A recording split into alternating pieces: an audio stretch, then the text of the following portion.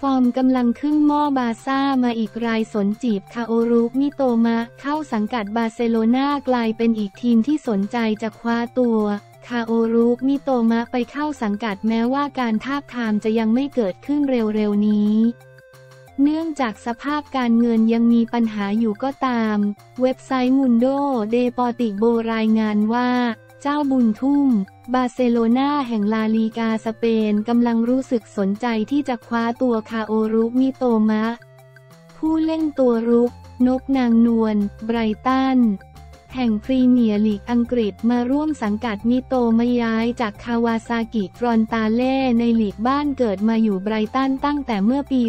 2021 ก่อนจะก้าวขึ้นมาเป็นกำลังสำคัญในแนวรุกของต้นสังกัด กระทั่งมีข่าวว่าหลายสโมสรในอังกฤษอยากได้ตัว รวมถึงยักษ์ใหญ่อย่างแมนเชสเตอร์ซิตี้และแมนเชสเตอร์ยูไนเต็ดรายงานระบุว่าล่าสุดบาร์เซโลนาก็ทำท่าจะเข้ามาร่วมวงแย่งตัวมิโตมะด้วย หลังจากทีมแมวมองได้แนะนำไปถึงผู้บริหารสโมสรแล้ว ถึงกระนั้นเจ้าบุญทุ่ม น่าจะยังไม่รีบคว้าตัวแข้งทีมชาติญี่ปุ่นในฤดูกาลหน้า เนื่องจากสโมสรยังมีปัญหาการเงินอยู่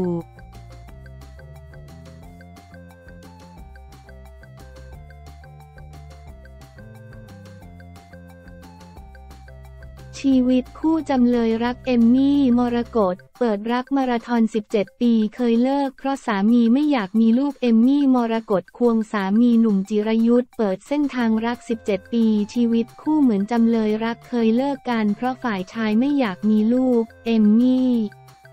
มรกตควงคุณสามีหนุ่มจิรยุทธ์มาเปิดใจที่แรกกับเส้นทางรัก 17 ปี และปัญหาความรักที่ทำเอาสาวเอมมี่ถึงขั้นออกปากว่าชีวิตคู่เหมือนเป็นจำเลยรัก ผ่านทางรายการคุยแซบโชว์ทางช่องวัน 31 ที่มีธัญญาธัญญาเรศ และเบนพรชิตาเป็นพิธีกรดำเนินรายการเอมมี่มรกตสามีรักมาราธอน 17 ปีเอมมี่มรกตควงสามีหนุ่มจิรายุทธเปิดรักมาราธอน 17 ปีคู่นี้คบกันมานานมาก เอมมี่แต่งงาน 8 ปีคบกัน 9 ปีทั้งหมด 17 ปีเริ่มต้นความรักยังไง หนุ่ม เริ่มจากที่ดูทีวีวันนั้นเป็นประกวดนางงามอะไรสักอย่างจำได้ว่าพี่ดูสัญญาเป็นพิธีกรคู่กับผู้หญิงคนหนึ่งในรายการประกวด แล้วผู้หญิงคนนี้พูดภาษาอังกฤษ แล้วพี่ดูพูดภาษาไทยพี่ก็ดูแบบไม่ได้ตั้งใจดูมาก ผู้หญิงคนนี้สวยดีมาบอกกับน้องในออฟฟิศว่าเมื่อคืนดูรายการ พิธีกรผู้หญิงสวยน่ารักดีนะ เขาก็บอกเอมมี่มรกตเราก็ได้ยินแค่เอมมี่มรกตหลังจากนั้นไม่นานสักสองถึงสามอาทิตย์ที่ทำโฆษณา มันมีหนังโฆษณาเมืองนอกแชมพูติดต่อมา เขาหาคน cast ที่บอก casting ว่าพี่ฝากเอาเอมมี่ มรกตมา cast ลึกๆก็คืออยากเจอถึงเวลามา cast ที่ออฟฟิศพอเดินขึ้นมาพี่เปิดประตูพี่อึ้งเลย ผมพังมากแดงยาวพังมาก ครั้งแรกพี่ก็สงสารไม่อยากให้ลงไปเจอพวกน้องแคส ก็เลยนั่งคุยอยู่ในห้องกลัวเขารู้สึกไม่ดีคือใจไม่ได้แน่รู้ว่าส่งไปไม่ได้หรอกก็สงสารเขาเรียกน้องเข้ามาถ่ายในห้องเอมมี่ ปกติไป cast งานก็จะมีผู้จัดการไปด้วยทุกครั้ง วันนั้นบังเอิญที่แอมบอกเสร็จงานไม่ทัน เราก็บอกไปเองได้ casting แค่นี้เองก็เลยกลายเป็นว่า casting director ไม่อยู่ ผู้จัดการตัวเองไม่อยู่ก็เลยได้อยู่กันสองคน เราเห็นที่หนุ่มปุ๊บเรารู้สึกยังไงบ้าง หนุ่ม สตันเอมมี่ งงว่าผู้ชายคนนี้เป็นอะไรติดกระดุมถึงสะดือติดอยู่เม็ดเดียว แล้วใส่สร้อยสร้อยก็ยาวถึงสะดือมีความมั่นใจในตัวเองสูงมาก หน้าตาอาจจะไม่ได้หล่อแต่นิสัยอาจจะดีมากก็ลองคุยดูวันนั้นคุยไปคุยมาสามชั่วโมง หลังจากนั้นเป็นยังไง หนุ่ม ก็ไม่เป็นไงรู้ว่าเขาต้องไปเดินแบบพี่จำได้ว่าพี่ไปยินก่อนที่จะเปลี่ยนชุดวางโทรศัพท์ในล็อกเกอร์พี่ก็ส่งข้อความไปขอบคุณหน่อยขอบคุณนะคะที่มา ดีใจที่ได้เจอคนที่คุยกันรู้เรื่อง ประมาณนี้จำไม่ได้พอกลับมาก็เห็นเขาตอบกลับมาพี่โทรกลับไป เขากำลังแต่งหน้าจะเดินแบบ เขาก็ใส่หูฟังคุยต่อเป็นชั่วโมง แล้วเอมมี่รู้สึกยังไงบ้าง เอมมี่ ก็ตั้งใจกะว่าจะหลอกเล่นเล่น หัวเราะ ไม่หรอกนี่ชอบความคิดของเขา เขาก็เรียนเมืองนอกมา เราก็เป็นเด็กที่มาจากอังกฤษไม่ได้รู้จักใครมากเพื่อนอาจจะไม่ได้เยอะมาก แล้วเหมือนเขาเก็ตในสิ่งที่เราเป็นและสิ่งที่เรากำลังทำอยู่ตอนนั้นเราอยากทำงานแล้วอยากเป็นอะไรสักอย่างเขาก็เข้าใจเหมือนจะซับพอร์ตสิ่งที่เราเป็นนะวันนั้นเราก็เออคุยถูกคอ แต่วันนั้นพอมี่บอกพี่หนุ่มกำลังจะไปเดินแบบแล้วนะคะ เขาบอกไม่เป็นไรถือสายรอได้มี่ก็เลยเอาโทรศัพท์วางไว้ในกระเป๋า เขาก็ไม่วางสายมี่หายไปประมาณ 40 นาที พอกลับมาเขายังอยู่ในสายก็รู้สึกดี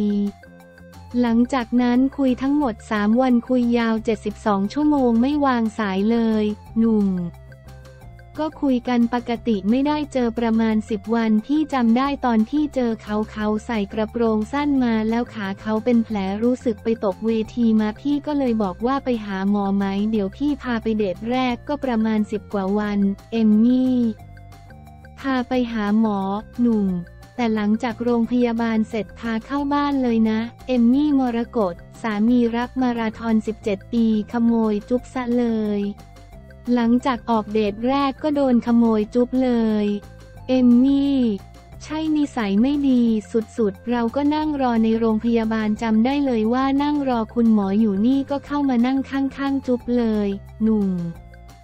หนูจำผิดแล้วเห็นนั่งอยู่เหมือนกลัวอะไรสักอย่าง ผมก็แค่เดินมาไม่ต้องกลัวนะคะ แล้วก็คิสเฉยๆ หลังจากนั้นก็คุยกันยาวเลย เอมมี่ ยาวค่ะ บอกทุกคนสิว่าตั้งใจหลอกเด็กคนนี้เหมือนกัน หนุ่ม ไม่ได้ตั้งใจจะหลอก เอมมี่ อายุห่างกัน 13 ปีได้ยินข่าวมาว่าก่อนที่เขาจะเจอเรา เขาก็ไม่ธรรมดาเขาก็หลายอยู่คนในวงการเขาก็รู้กัน จริงๆ แล้วตั้งใจจะหลอกเด็ก หนุ่ม คิดว่าจะลองดูแต่ไม่ไปไหนเลยอยู่จนถึงทุกวันนี้ที่บอกว่าคุยหลายคนทำไมถึงมาปิ๊งคนนี้ หนุ่ม จริงๆ ที่ไม่อยากแต่งงานไม่ได้ จะคิดว่าจะมีคู่คิดว่าสนุกกับชีวิตโสดสนุกมากกับการที่ไม่ต้องรับผิดชอบใคร ไม่ได้คิดอะไรแต่ของแบบนี้มันเป็นอะไรที่บังคับไม่ได้ พอมาเจอมาคุยก็อยากคุยต่อ ที่ว่ามันไม่ได้แปลว่า อยากจะหยุดหรืออยากจะคุยคนเดียว พอช่วงเวลานั้นเราคุยกับเขาเราไม่อยากคุยกับใครเขาเก็บให้เรามีความรู้สึกนี้อยู่เรื่อยๆ เรื่องอายุมันมีปัญหาบ้างไหม เอมมี่ มีค่ะ ประเด็นนี่มีเพื่อนเยอะแล้วชอบเที่ยวแล้ว ตอนนั้นเราก็เด็กอายุ 22 เป็นช่วงอยากเที่ยวอยากทำนู้นทำนี่เขาเป็นห่วงเราไปหมด เรากลายเป็นไข่ในหินของเขาเหมือนถูกขังเหมือนจำเลยรัก หนุ่มเล่าข้ามช็อตไงต้องเล่าว่าเริ่มคบกันเขา 22 ก็คบกัน 2-3 ปีไม่มีปัญหา ติดกันอยู่กันสองคนไม่ได้มีประเด็น พอมาช่วงหนึ่งสองถึงสามปีผ่านไป เขาก็เริ่มโตถึงอายุหนึ่งช่วง 25ถึง26 มั้งที่ต้องปรับตัวครั้งแรก เขาเริ่มรู้สึกอยากทำอะไรที่นอกเหนือจากอาชีพนักแสดง มองดูเรื่องธุรกิจอยากทำนู้นมีเพื่อนเยอะขึ้นมีเพื่อนกลุ่มใหม่ เริ่มจะเที่ยวเยอะอยากจะเจอคนเยอะอยากลองผิดลองถูกช่วงนั้นพี่ก็อย่างที่เคยพูดเวลารัก รักใครไม่ค่อยเป็นคือรักแล้วจะโปรเทคไปหมด บางทีคนก็อึดอัดเขาเคยพูดกับพี่ว่าปล่อยให้เขาล้ม ให้เขาผิดได้เจ็บเองไม่ต้องมาห้ามเขาทำอะไรทุกอย่าง ก็มีช่วงนั้นแหละที่ค่อยๆปรับตัวกัน เป็นห่วงมากกว่าไม่ใช่หึง หนุ่ม ก็เป็นห่วงแหละหึงแหละมาหมดปรับตัวยังไงบ้างที่หนุ่มขี้หึงขี้หวงขนาดนี้ เอมมี่ ตอนนั้นมี่รู้สึกว่ามี่เด็กมากเกินไปก็อึดอัด มีทะเลาะเถียงกันห่างกันบ้าง เพราะเรายังปรับตัวจูนกันไม่ค่อยได้ บางเหตุการณ์เราก็โอเค เขาเป็นห่วงแต่บางครั้งก็เหมือนถูกขังก็มีปรับกันบ้างเอมมี่มรกตสามีรักมาราธอน 17 ปีแล้วด้วยความที่พี่หนุ่มเป็นคนที่อยู่ด้วยยากมี่บอกว่ายากที่สุด เอมมี่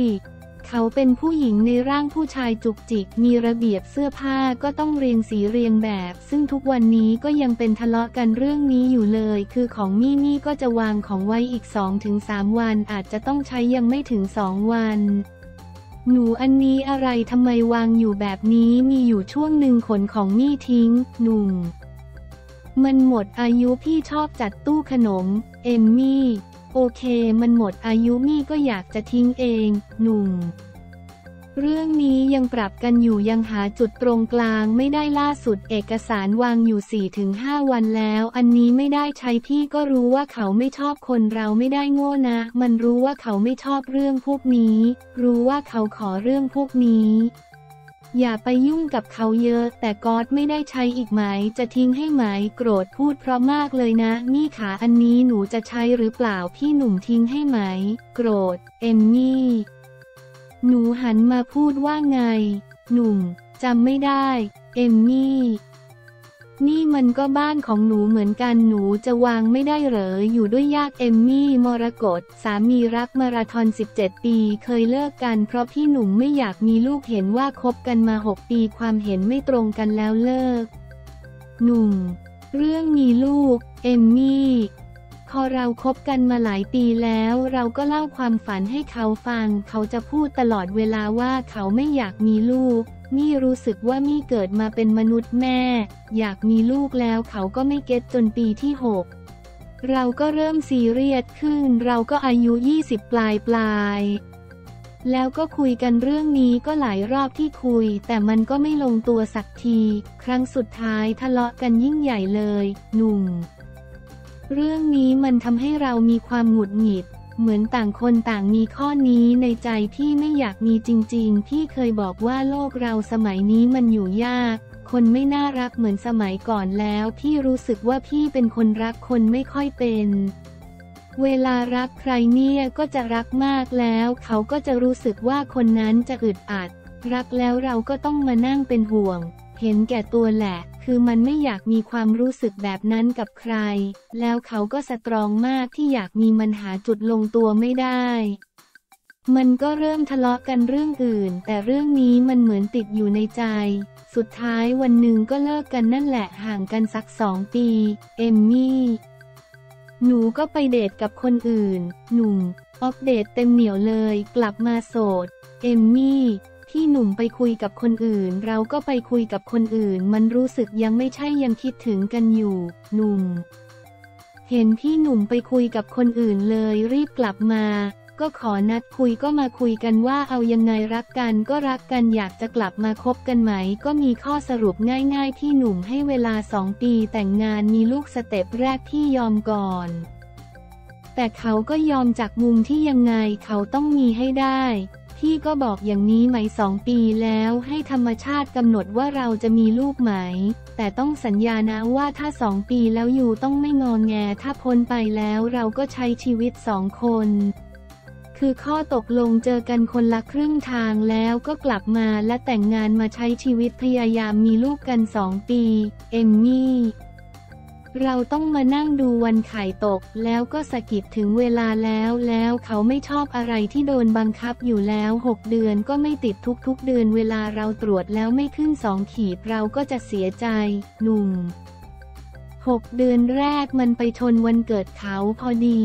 พี่ก็เห็นว่าเขาดูกระเป๋ามานานแล้ว พี่ก็ถามว่าเอาไหมนี่พี่หนุ่มซื้อให้แต่แลกกันว่าขอย่นเวลานะหายไปปีหนึ่ง นี่เขาอยากมีลูกมาก เขาก็คิดสักพักประมาณครึ่งชั่วโมง กลับมาแล้วบอกว่า เอมมี่ เอากระเป๋า หนุ่มพี่หนุ่มก็โอเค ซื้อกระเป๋าให้ลดเวลาลง 6 เดือนสุดท้ายนี่แหละ ร้องไห้ทุกเดือนเวลาตรวจแล้วไม่มา ไม่มีพี่ก็เริ่มเห็นแล้วว่าดาราใส่หรือว่าเรื่องจริง พอดีเราไปเจอเพื่อนรุ่นพี่ที่เป็นคุณหมอ เอมมี่พี่หนุ่มก็โอเคที่จะไปตรวจจนมาถึงขั้นที่ธรรมชาติ มันก็ไม่ติดสักทีพี่หมอก็เลยบอกว่ามันมีวิธีการแบบฉีดเชื้อพี่หนุ่มก็เลยบอกโอคลองดูไหม แต่ก็ไม่ติดอาจจะมีความผิดปกตินี่มีเลือดไหลออกมาเยอะ เราตกใจซุดไปกับพื้นแล้วเป็นลมไปเลย เขามาเห็นแล้วอุ้มถามว่าโอเคไหม เขาคงเห็นว่ามี่เสียใจมากที่ไม่ติดด้วย แล้วยังมีปัญหาแบบนี้เขาก็เลยยอม สภาพจิตใจตอนนั้นมันเป็นยังไง เอมมี่ ตอนนั้นเสียใจด้วยเวลากำลังจะหมดแล้ว คงไม่มีลูกเราต้องรักษาสัญญาที่เคยบอกกับเขา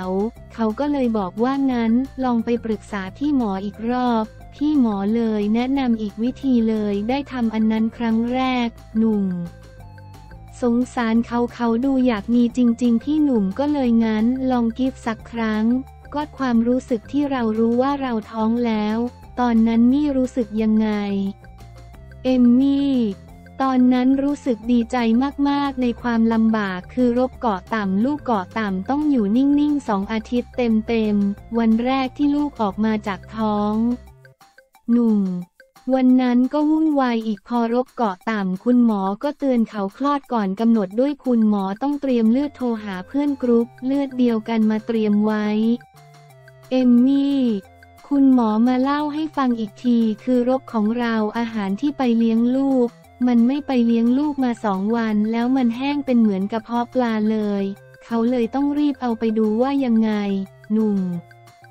กว่าจะได้อุ้มหลายวันนะอยู่ในกล่องความตื่นเต้นมันเลย ไม่ค่อยเหมือนคนอื่นมั้ง ตอนนั้นห่วงเขามากกว่า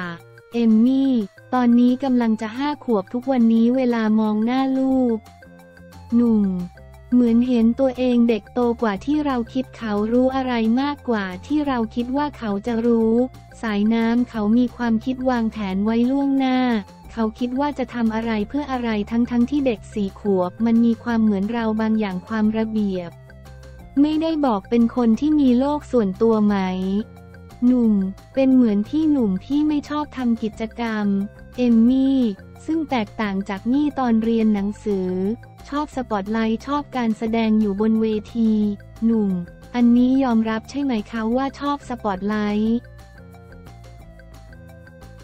เอมมี่ นี่จะเป็นเทปแรกและเทปสุดท้ายที่เธอจะได้ออกหน้ากล้องพูดเลย ปกติมีลูกความหวานของพ่อแม่ลดลงบ้านนี้ไม่เป็นใช่ไหม หนุ่ม เราคุยกันไว้ก่อนมีพี่เคยมีความคิดที่จะอยู่กันสองคนพี่เห็นภาพที่อยู่แก่ๆกันสองคนมันน่ารักดีพี่เคยพูดว่าถ้ามีเราต้องช่วยกันนะ ไม่ให้ชีวิตคู่มันหายไป หรือความเป็นแฟนมันหายไปอย่าเป็นแค่พ่อแม่พี่พยายามไม่เรียกกันว่าพ่อแม่ด้วยซ้ำเอมมี่แต่ตอนนี้มันติดแล้ว หนุ่ม อยากให้มีความเป็นคู่ไว้นั่นคือความตั้งใจอยากจะทำ เรามีวิธีมัดใจสามียังไง เอมมี่ก็พยายามเป็นภรรยาที่ดีที่สุดให้กับเขา เท่าที่เราจะเป็นได้คือไม่ได้เป็นคนอื่นเป็นตัวเองเพื่อเขาจะได้ภูมิใจเวลาเขาพูดถึงภรรยาว่าภรรยาเขาเป็นแบบนี้ อยากให้เขามีความสุข และอยากให้เขาภูมิใจที่เขาเลือกเรามาเป็นคู่ชีวิตเขา เหมือนตอนแรกๆ ไม่ชอบให้ไปปาร์ตี้ แต่ตอนนี้คุณแม่มีลูกแล้วคุณแม่ก็ยังปาร์ตี้อยู่ หนุ่ม ยังปาร์ตี้อยู่บ้าง ที่หนุ่มไปด้วยกันไหม หนุ่ม ไม่ค่อยไป กลับดึกไหมคุณแม่ เอมมี่ จริงๆ มีกฎก่อนหน้านี้ต่างคนต่างมีกฎ ถ้าเกิดกลับหลังเที่ยงคืนเสียชั่วโมงละหมื่นสองคนอัตโนมัติเลย กลับก่อนเที่ยงคืนกลัวเสียเงิน เอมมี่มรกตสามีรักมาราธอน 17 ปี เติมเต็มความหวานชีวิตคู่ บอกความในใจกันนิดนึง หนุ่ม ก็รักแหละไม่รู้อธิบายไม่ถูกว่ารักขนาดไหน พี่ก็คุยกันเสมอหงุดหงิดกันก็แยกกันไปสักพักเราอยู่กันก็ช่วยกันเติมเต็มช่วยกันแก้ไขอีกมุมหนึ่งของอีกฝ่ายหนึ่งพี่เคยมาสำรวจตัวเอง นี่มีมุมที่ให้พี่แทบจะทุกความรู้สึก ตั้งแต่เอ็นดูห่วงใยรักเขาเป็นหลายๆ อย่างของพี่แล้วพี่ก็มีความรู้สึกไม่ว่ามุมไหน พี่ก็หามุมมองที่เอ็นดูให้อภัย มองข้ามแล้วกลับมารักกันใหม่เมื่ออารมณ์เราเย็นลง ชีวิตพี่กับเขาก็จะประมาณนี้เขาไม่ได้ทำอะไรที่ทำให้เราเสียใจ ยอมรับไม่ได้หรืออภัยไม่ได้อย่างบางคนก็มีอารมณ์วูบวูบวาบวาบบ้าง เราก็ต้องยอมรับให้ได้มองข้ามบ้าง เอมมี่ ก็เป็นห่วงอยากให้ดูแลตัวเองดีๆ เพราะลูกเล็กอยากให้อยู่กับลูกนานนานอย่าเพิ่งรีบไปไหนนะ หนุ่ม วันก่อนลูกก็ถามพ่อแก่แล้วพ่อจะตายเมื่อไหร่ คลิปสัมภาษณ์เอมมี่มรกตสามี